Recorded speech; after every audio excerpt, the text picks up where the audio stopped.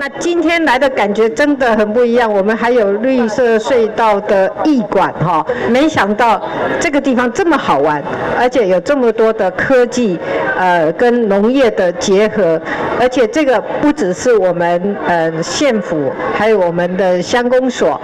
还有很多我们在地的呃企业跟我们的在地的这些大学哦，大家一起来做成的一个好玩，而且又是展现我们云林的科技跟我们云林的农业的一个非常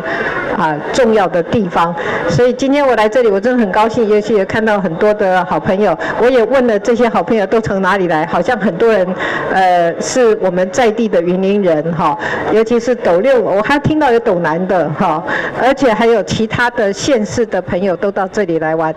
显然，这个我们周边的这个呃很多的嗯邻居们都也喜欢来这里走走看看哦。所以我要恭喜我们的县长，恭喜我们的乡长哈，在一年之间能够把这个驿站做起来，作为我们呃古坑更具特色的一个一个停留点哈。那也让人感受到台湾的农业的美跟农业的好啊，再加上台湾的科技。真是不得了，所以我要恭喜两位，那也谢谢在场的我们的好朋友的热情，那也希望大家多支持云林的农业，也多支持我们云林，也多支持台湾，谢谢谢谢大家，谢谢。